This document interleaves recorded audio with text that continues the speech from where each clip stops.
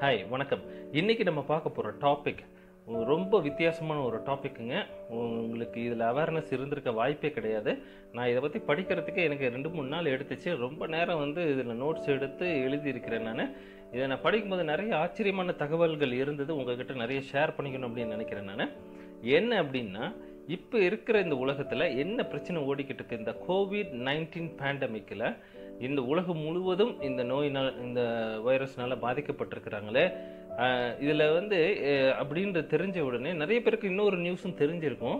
ஒரு உண்மையா இல்லையா நம்மளுக்கு தெரியாது. ஒரு கான்ஸ்பரசி ஓடிட்டு இருக்கு இது ஒரு பயோவாரா இருக்கலாமா அப்படின்றது நிறைய பேருக்கு இந்த ஒரு டவுட் இருந்துக்கிட்டே இருக்கு. ஸோ இது உண்மையா இல்லையா நம்மளுக்கு தெரியாது. சப்போஸ் அப்படி இருந்தால் இது தோணுன உடனே என்ன தோணுது அப்படின்னா இது ஏன் இப்படிலாம் பண்ணுறாங்க இந்த மாதிரிலாம் இப்போ நடந்துருச்சே இதில் இதெல்லாம் பண்ணக்கூடாது அப்படின்னு உங்களுக்கு தோணுது இல்லைங்களா? ஆனால் பட் இது இப்போ நடக்கலைங்க. ரொம்ப காலமாக இருந்த ஒன்று தான் அதை பற்றி தான் இன்னைக்கு இந்த பதிவில் நம்ம பார்க்க போகிறோம் நான் வந்து முடிஞ்ச ஒரு இதில் முடிக்கிறேன். இல்லை அப்படின்னா செகண்ட் பார்ட்டாக வீடியோவும் போடுறேன் நான். நிறைய டாபிக்ஸ் இருக்குது இதில். வாங்க பதிவுக்குள்ளே போவோம்.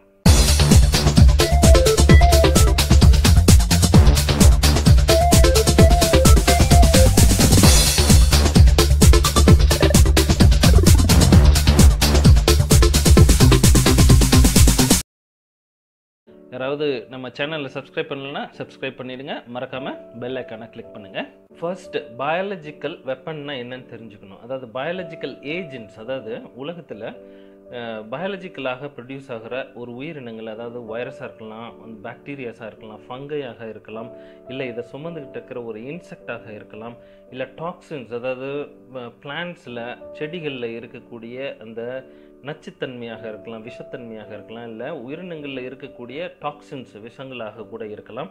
இதெல்லாம் ஒரு பயாலஜிக்கல் ஏஜென்ட் பட் இது வந்து ஒரு வெப்பனாக அடுத்தவர்களை தாக்குவதற்காக பயன்படுத்தினால் இது பயாலஜிக்கல் வெப்பன் அப்படின்னு சொல்கிறது பயாலஜிக்கல் வார்ஃபேர் அப்படின்னா இந்த வெப்பன்ஸை வச்சு அடுத்த ஒரு மனிதர்களையோ ஒரு சமுதாயத்தையோ ஒரு ஏரியாவையோ அழிக்கணும் அப்படின்ற இந்த ஆக்ட் ஆஃப் வார் அதாவது ஒரு போரின் காரணமாக இதை பயன்படுத்தினால் அது பயாலஜிக்கல் வார்ஃபேர் இந்த பயாலஜிக்கல் வார்ஃபேர் வெப்பன்ஸை யூஸ் பண்ணுறது வந்து இப்போ நடக்கலைங்க. இது எப்போ இருந்து நடக்குது அப்படின்னு பார்த்தீங்கன்னா ஹிஸ்டாரிக்கலாகவும் இருக்குது சொல்லப்போனால் மித்தாலஜி அதாவது புராணங்களில் கூட இருக்குதுங்க.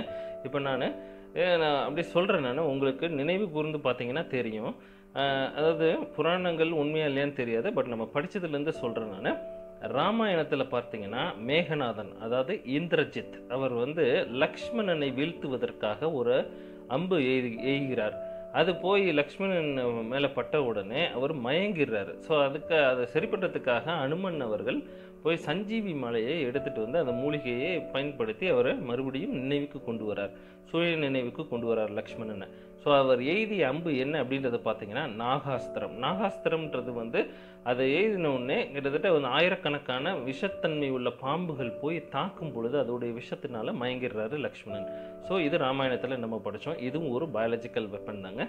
அதே மாதிரி மகாபாரதத்தில் பார்த்தீங்கன்னா அர்ஜுனன் மீது கர்ணன் எய்துகிற அம்பும் ஒரு நாகாஸ்திரம் தான். அப்போ வந்து தலையை நோக்கி வர்றதுனால வந்து கிருஷ்ணர் வந்து அந்த தேரை ஒரு அழுத்த அழுத்தும் போது ஒரு அடி கீழே போகும்பொழுது அது தலைக்கு வர்றது வந்து அந்த கிரீடத்தை தட்டிட்டு போயிடுறதுனால தலைக்கு வந்தது தலைப்பாகையோட போச்சுன்னு சொல்லுவாங்க.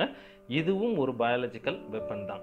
ஸோ அடுத்தது பார்த்திங்கன்னா கிரீக் மித்தாலஜியில் கிரேக்க புராணங்களில் பார்த்தீங்கன்னா அது ஹெர்குலிஸ் ஹெர்குலிஸ்ன்றவர் யார் அப்படின்னு பார்த்தீங்கன்னா ஜிஎஸ் கடவுள் உடைய பையன். ஜிஎஸ் யார் அப்படின்னு பார்த்தீங்கன்னா காட் ஆஃப் தண்டர் இடி மின்னல் இருக்கு பாருங்க அதோடைய காடு தான் ஜிஎஸ் அப்படின்னு சொல்லுது. அவருடைய பையன் ஹெர்குலிஸ் அவர் வந்து அவருடைய இரண்டாவது மனைவி டயனரா அப்படின்றவங்களை வந்து ஒரு ஆற்றை கடக்க செல்லும் பொழுது அந்த டயனரா அப்படின்றவங்களை வந்து அந்த ஆற்றை கடக்கிறதுக்காக யார் உதவி செய்கிறாங்க அப்படின்னு பார்த்தீங்கன்னா நெசஸ் அப்படின்றது யார் அப்படின்னு பார்த்தீங்கன்னா சென்டார் அப்படின்றது. சென்டார் அப்படின்றது வந்து நீங்கள் இந்த ஃபோட்டோ பார்த்தீங்கன்னா தெரியும். அதாவது உடல் உடலும் கால்களும் குதிரை மாதிரி இருக்கும். தலை வந்து மனித தலையாக இருக்கும். கைகளும் மனித கைகள் இருக்கும். ஸோ இது வந்து சென்டார் அப்படின்னு சொல்கிறது இந்த ஆற்றை கடக்கிறதுக்காக அது வந்து ஹெல்ப் பண்ண வரும்பொழுது என்ன ஆகுதுன்னா அந்த டைனரை மேலே ஒரு ஆசை வந்து அதை பலாத்காரம் செய்ய முற்படுவதை ஹெர்குலிஸ் ஆற்றின் அந்த கரையோரத்திலிருந்து பார்க்குறாரு. அப்போ என்ன பண்ணிடுறாரு? அவருடைய அம்பை வந்து வில்லு அம்பை எடுக்கிறாரு. ஹைட்ரா அப்படின்ற ஒரு பாம்பினுடைய விஷத்தை அந்த அம்பில் தடவி த சென்டார் மேலே அடிக்கிறாரு அந்த நெசஸ் அவங்க வந்து இறந்துடுறாங்க. ஸோ இதுவும் ஒரு பயாலஜிக்கல் வெப்பன் தான். இது புராணங்களில் நடந்த கதைகள்ங்க. இது மாதிரி நிறைய கதைகள் இருக்குது பட் எல்லாத்தையும் நம்ம சொல்ல முடியாது ஏன்னா டைம் கிடையாதுங்க. இனி வர இது மெசேஜ்லேயும் நான் ஒரு சில குறிப்பிட்ட காலகட்டங்களில் நடந்த விஷயத்தை மட்டும் நான் சொல்கிறேன் ஹிஸ்டாரிக்கலாக பார்க்கும் பொழுது தௌசண்ட் ஃபைவ் ஹண்ட்ரட் பிசி அதாவது கிறிஸ்து பிறப்பதற்கு ஆயிரத்தி ஐநூறு வருடங்களுக்கு முன்னாடியே ஹிட்டிட்ஸ் டெக்ஸ்ட் அப்படின்றதுலேயே எழுதியிருக்காங்க. அதாவது யூஸ் ஆஃப் பயாலஜிக்கல் வெப்பன்ஸ் அதாவது என்ன அப்படின்னா எதிரிகளை தாக்குவதற்கு எப்படின்னா கடும் வியாதியால் அவதிப்பட்ட மனிதர்களை எதிரி நாட்டுகளுக்குள்ளே போய் விட்டுட்டு வந்துடுறது. ஏன்னா அந்த எதிரிகளுக்கும் அந்த வியாதி பரவட்டும் அப்படின்றதுக்காக அவங்கள போய் விடுறது. இதுவும் ஒரு பயாலஜிக்கல் வெப்பன் தாங்க. அடுத்தது பார்த்திங்கன்னா சிக்ஸ் ஹண்ட்ரட் பிசி அதில் என்னென்னா அசைரியன்ஸ் அப்படின்றவங்க அது எங்கே இருங்கன்னா நார்தன் ஈராக் ஏரியாவை சேர்ந்தவர்கள். என்ன பண்ணாங்க அப்படின்னா எர்காட் அப்படின்ற ஒரு விஷயத்தை பற்றி அவங்களுக்கு தெரிஞ்சிருக்கு. அது என்ன? ஏர்காட் அப்படின்றது வந்து ஒரு வகையான பூஞ்சான் ஃபங்கஸ் அதாவது தாவரங்களில் வளரக்கூடிய ஒரு வகையான ஃபங்கஸை பற்றி அவங்களுக்கு தெரிஞ்சிருக்கு. இது ஆக்சிடென்டலாக மனித உடம்புக்குள்ளே போகும்பொழுது என்ன ஆகும் அப்படின்னா எர்காட்டிசம் அப்படின்ற ஒரு வியாதியை கொடுக்குது. ஸோ இந்த எர்காட்டிசமில் என்னென்ன சிம்டம்ஸ் வரும்னு பார்த்தீங்கன்னா வாமிட்டிங் டயரியா மெயினாக வந்து நியூராலஜிக்கல் கம்ப்ளைண்ட்ஸ் கொடுக்கும். அதாவது நரம்பு மண்டலத்தை மெயினாக இது பாதிக்கும். என்னென்னா மேனியாக் சைக்கோசிஸ் அதாவது புத்தி பேதரிச்சு போகிறதுக்கு வாய்ப்பு இருக்குது சில டைமிங்கில் வந்து வலிப்பு வரத்துக்கு வாய்ப்பு இருக்குது ரொம்ப அதிகமான பாய்சன் உள்ளே போயிடுச்சுன்னா ஃபேட்டல் டெத் ஆகிறதுக்கும் வாய்ப்பு இருக்குது ஸோ அவங்க என்ன அசைரன்ஸ் என்ன பண்ணாங்க அப்படின்னா எனிமி வந்து தாக்குறதுக்கு எதிரிகளை தாக்குவதற்காக அவங்க குடிதண்ணீரில் இந்த எர்காட்டை வந்து கலந்து அவங்கள வந்து சாகடிச்சதாக பதிவு செய்யப்பட்டிருக்கு. இதுவும் ஒரு பயாலஜிக்கல் வெப்பன் தாங்க.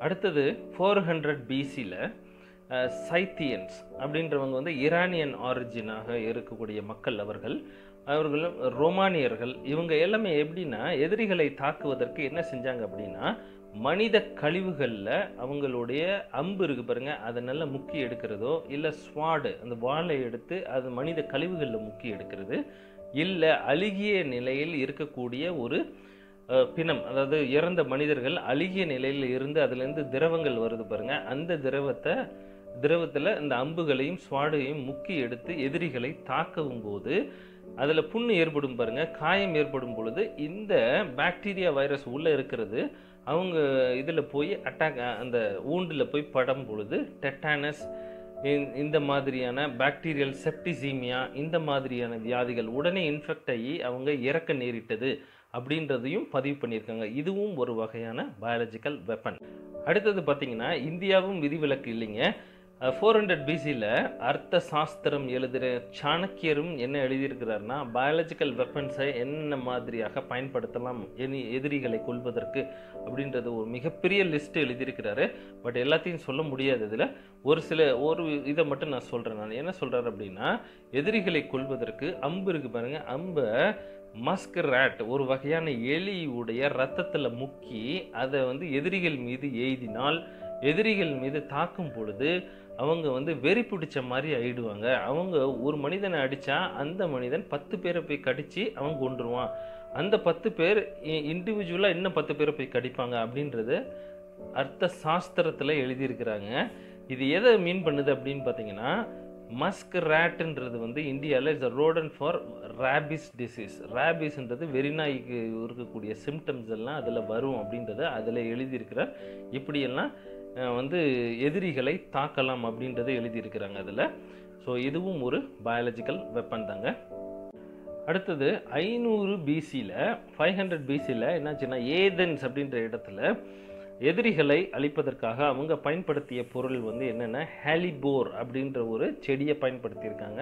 இது ஒரு பாய்சனஸ் பிளான்ட் எதிரிகளை எப்படி வீழ்த்தினார்கள் அப்படின்னு பார்த்தீங்கன்னா அவங்க குடிக்கிற தண்ணீரில் இதை கலந்து விட்டுறது. அதாவது கிணறுகள்லையோ இல்லை ஆற்றுகள்லையோ அவங்க குடிக்கிற தண்ணீரில் இதை கலந்து விட்டோன்னே இதை இந்த தண்ணியை குடிக்கும் பொழுது என்ன ஆயிடுதுன்னா அவங்களுக்கு vomiting diarrhoea abdominal severe abdominal pain அதாவது வயிற்று வலி கடுமையாக வரும்.